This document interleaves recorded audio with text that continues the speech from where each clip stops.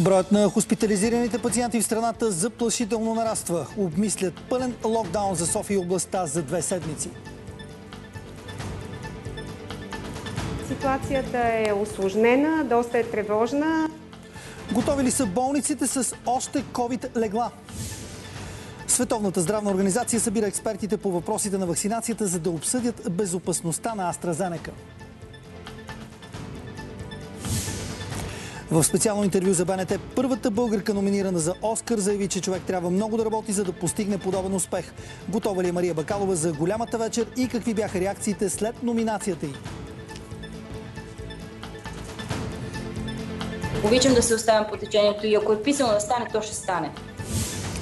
Жълт код за сняг и вятър за 12 области на страната. До кога ще продължат снеговалежите?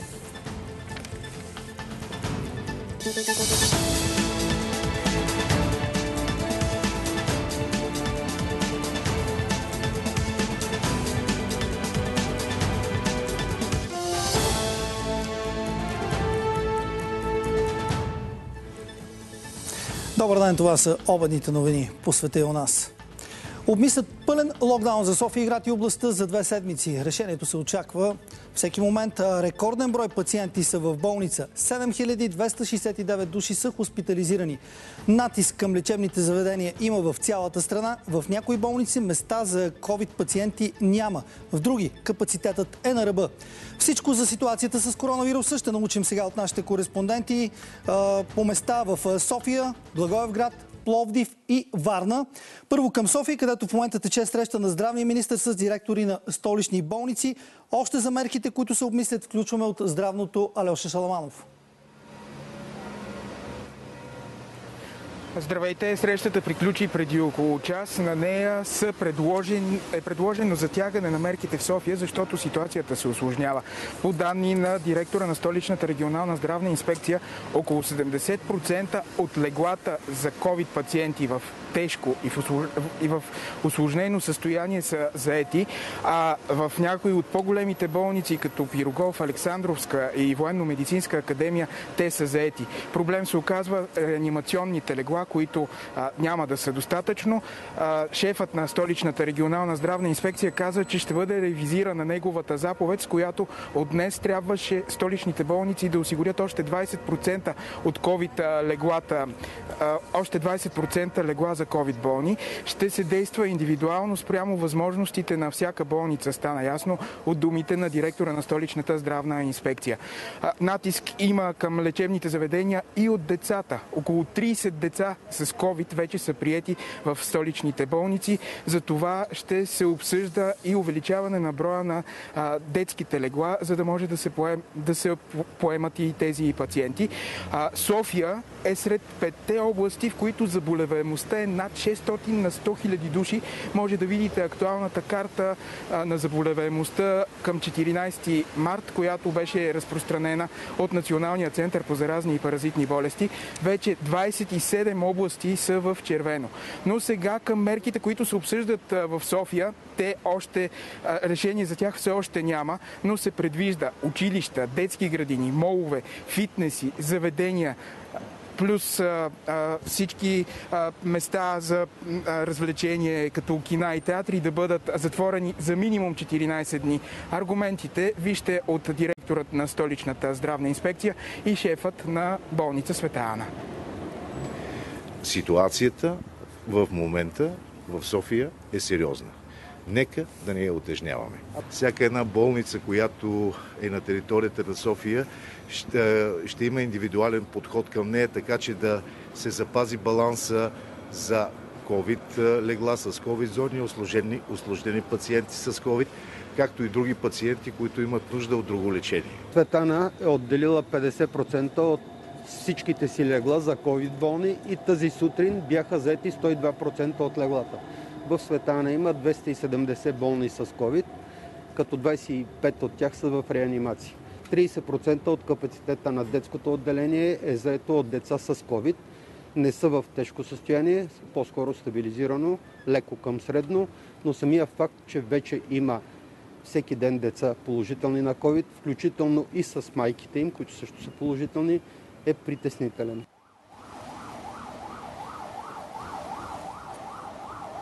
Окончателно решение за мерките в София и областта се очаква да бъде взето до края на деня.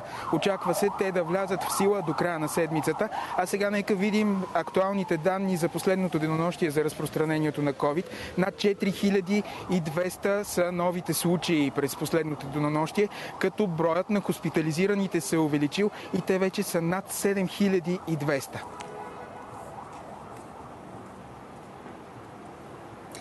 Благодаря ти, Алеша Шаламанов. Свършват леглата за пациентите с коронавирус в болниците в Благоевградска област. Най-тежко е положението в лечебното заведение в Гоце Делчев, където свободни места няма. Няма и възможност за разкриване на нови легла. Станислава Христова обобщава ситуацията. Добър ден!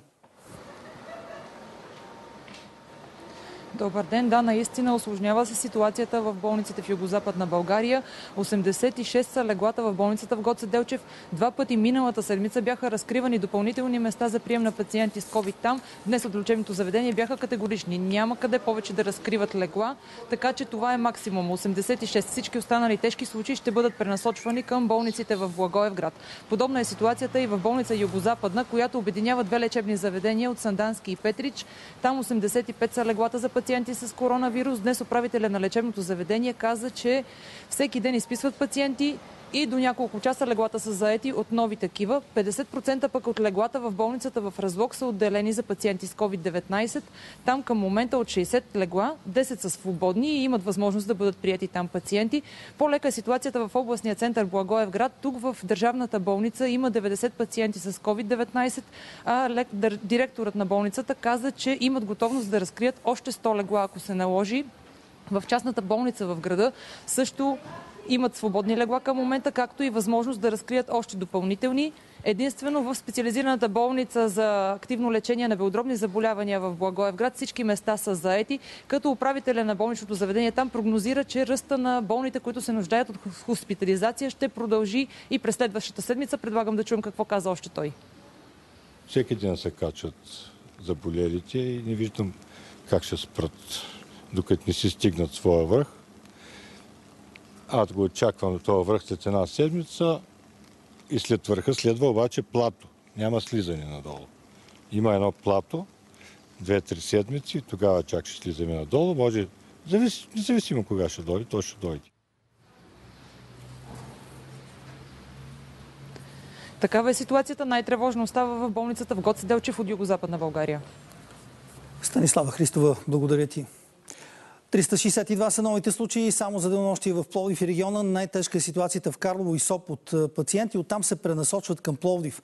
В Сопот от днес са затворени детските градини и ясли, а в Карлово се очаква решение за ново затягане на мерките. В областния град свършиха местата в някои интензивни отделения. Подробностите ще научим сега от Нели Ангелова. Добър ден! Добър ден! Все по-млади са пациентите, които се приемат в интензивните COVID отделения в Пловдивско. 70% от всички настанени в подобни отделения са и интубирани. В болница Свети Георги има и деца, които са с тежка инфекция, което е различното в този етап на епидемията. Най-тежка остава ситуацията в Карлово и Сопот. В COVID отделението няма свободни легла в момента. Вече има пациенти, които се пренасочват в болници в Пловдив и то в интензивните сектори сектори. Леглата в COVID отделението в Карлово бяха увеличени от 35 на 47, но и те се оказаха недостатъчни. В болница Плодив 75% от леглата са заети, но интензивният COVID сектор е пълен. В Свети Георги все още има свободни места и са в процес на разкриване на още 35 до края на месеца. Нека чуем повече. По-големия проблем за нас представляват пациентите на интензивно лечение.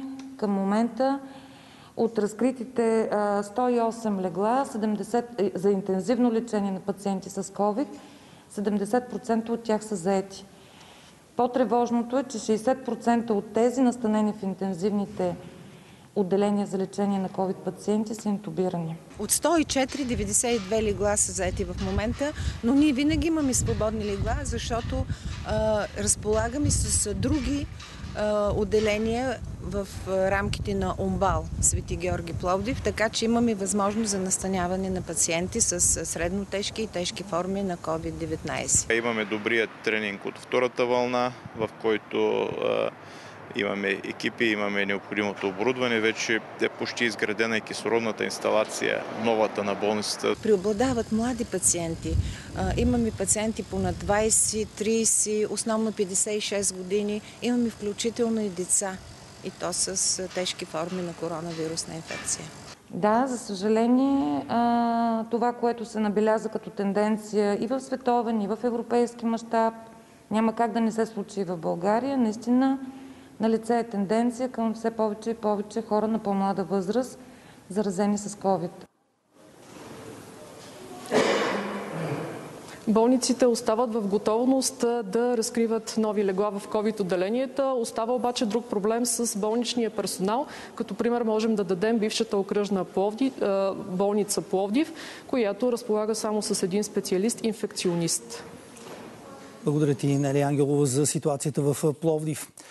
Варна е в червената зона по брой на пациенти заразени с COVID-19. Само през последното денонощие новозаразените в областта са 343.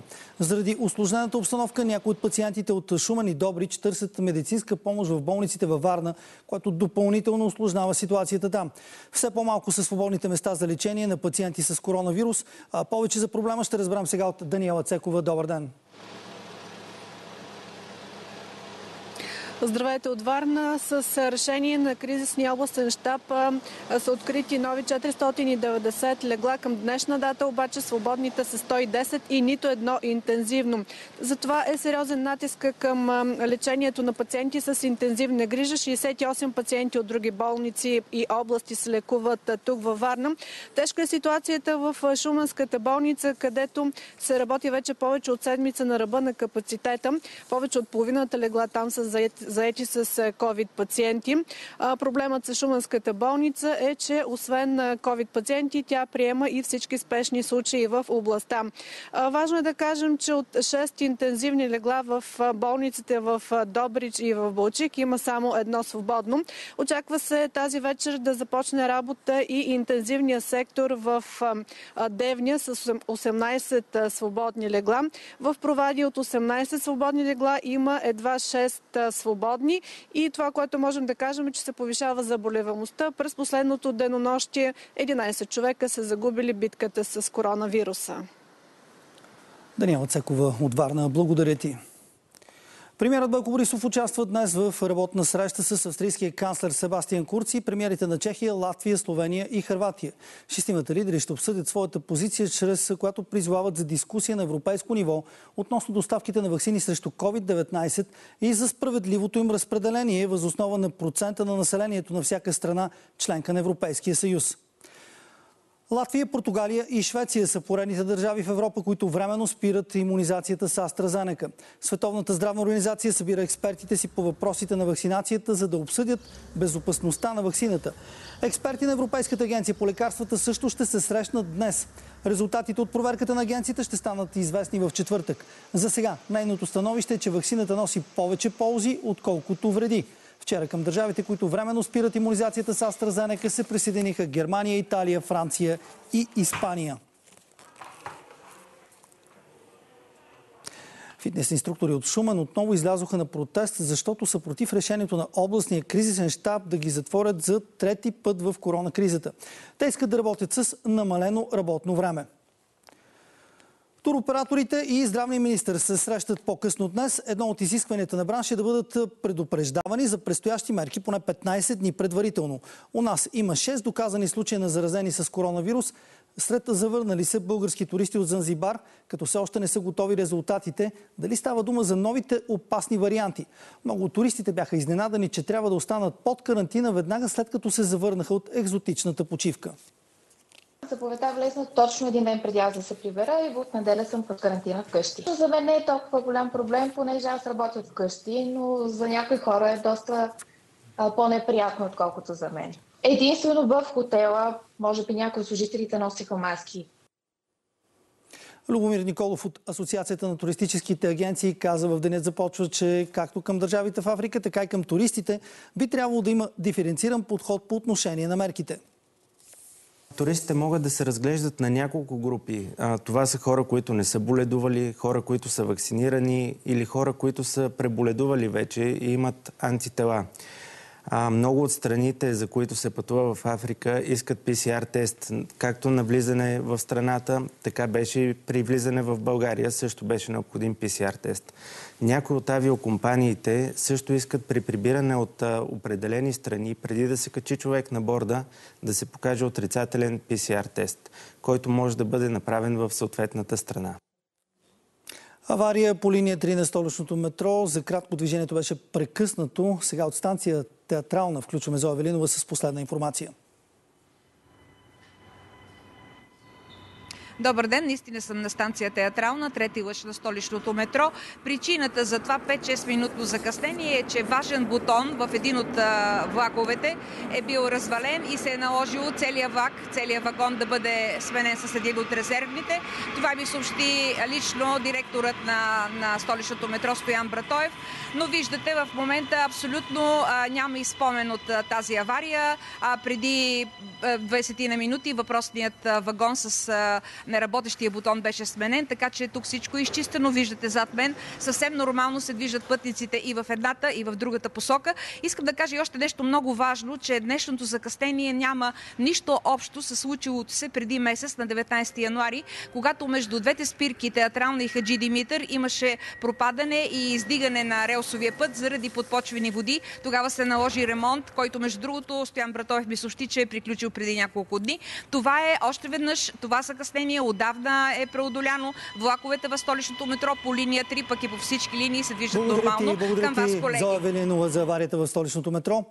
България подкрепа евроинтеграцията на Република Северна Македония, но при спазване на договора за приятелство от 2017 година. Това е препотвърдил министър-председателя Бойко Борисов на среща с външния министр на Скопия Бояр Османи. Всички противоречия между София и Скопия трябва да бъдат изгладени с разум, а не с емоции, е заявил Борисов. Република Северна Македония и Албания не могат да бъдат бавени по пътя им към Европейския съюз. Затова София и Скопия трябва да се разберат. Планът за действие за изпълнение на договор от 2017 е готов, стана ясно от думите на Османи. Трябва да седнем и да изгладяме всички противоречия, защото не може Северна Македония, Албания да се бавят по пътя за Европейския съюз. Така че и вие, и ние да се готвиме за преговори на разума, не на емоциите, за да можем най-важното и за България, нашите съседи да са в Европейски съюз. Така че нашата геостратегическа цел е тази. Въпросът е да намерим политическа воля и вие, и ние, и да я свършиме тази работа. Го договоривме акцискиот план. Треба само и извештај од Комисијата за историски прашања, кои што го подготвуваат. Во моментот имаат некои технички разлики кои треба да ги го согласат. Наш интерес е што побрзо да се сретне комисијата, да кажеме толку направивме минатата година, толку ќе направиме следната година.